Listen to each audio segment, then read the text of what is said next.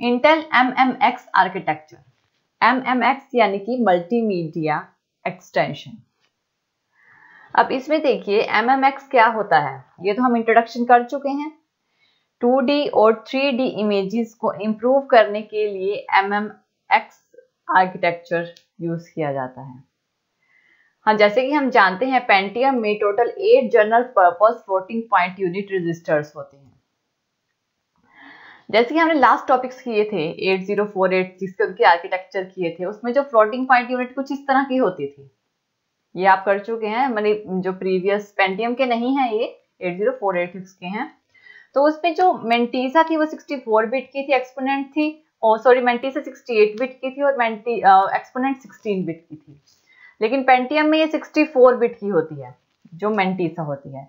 ये सिर्फ़ floating point unit का है एमएमएक्स का नहीं है। ये जो जो फ्लोटिंग पॉइंट यूनिट का आर्किटेक्चर शो किया गया है। देखिए, इसमें क्या होगा? जो फ्लोटिंग पॉइंट ऑपरेशन होते हैं, वो तो 64 बिट यूज़ मेंटीसा के लिए यूज़ होते हैं और उसके अलावा जो 16 बिट रेस्ट होते हैं, वो एक्सपोनेंट के लिए यूज़ होते हैं। जो इंटेल एमएमएक्स इंस्ट्रक्शन है, वो फ्लोटिंग पॉइंट यूनिट के रजिस्टर्स को ही यूज़ करती है। इसलिए मैंने इसमें फ्लोटिंग पॉइंट यूनिट का ये आर्किटेक्चर दिखाया है।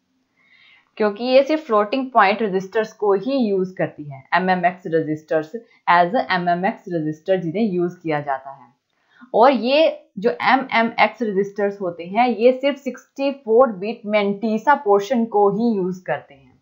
यानी कि सिर्फ़ इतने पोर्शन को ही यूज़ करते हैं। ये मेंटीसा का पोर्शन होता है, ये एक्सपोनेंट का पोर्शन होता है। देखिए मेंटी मेंटीसा बस इसको शो कर रही है एक्सपोनेंट बस इसको शो कर रही है। और यही रजिस्टर्स फ्लोटिंग पॉइंट यूनिट के लिए भी यूज़ होती हैं और same registers MMX register multimedia extension registers के फॉर्म में भी यूज़ किए जाते हैं।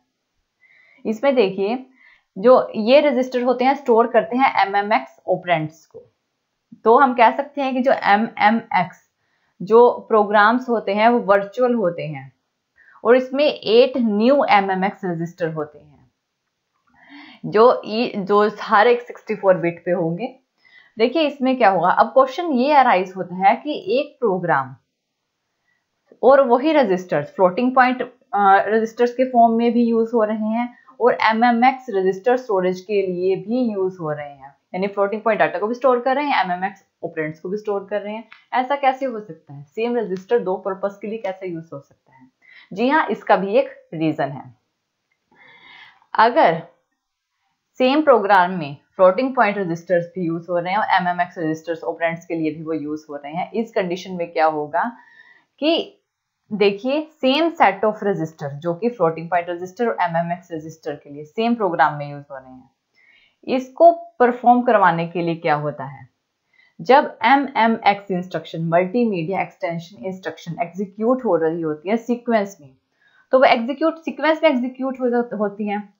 और जब वो सारी इंस्ट्रक्शन कंप्लीट हो जाती हैं और सारा डाटा जो रजिस्टर में स्टोर होता है, उसको क्लियर करना पड़ता है। वो क्लियर होता है एक इंस्ट्रक्शन से, जो होती है E M M S instruction देखिए, जो क्या करेगी?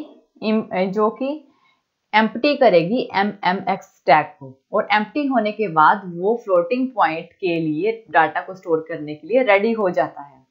और फिर जब फ्लोटिंग पॉइंट के काम खत्म हो जाएगा फ्लोटिंग पॉइंट यूज़ हो जाएगा, फिर उसके बाद सेम इंस्ट्रक्शन के through E M M S instruction के थ्रू फिर उन रजिस्टर को फिर से क्लियर किया जाता है ताकि उसे एम एम एक्स क्या कर सके ओपरेंट्स को स्टोर करने के लिए यूज़ किया जा सके। एग्जीक्यूशन के बाद।